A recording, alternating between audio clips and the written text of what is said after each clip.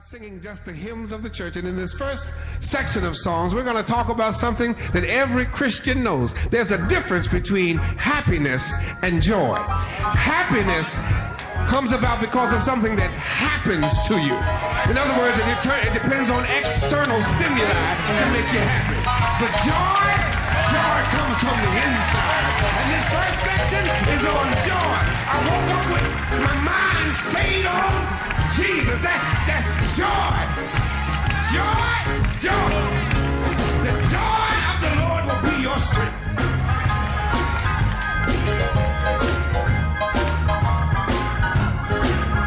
Come on, everybody, just stand up on your feet and help us to praise the Lord tonight.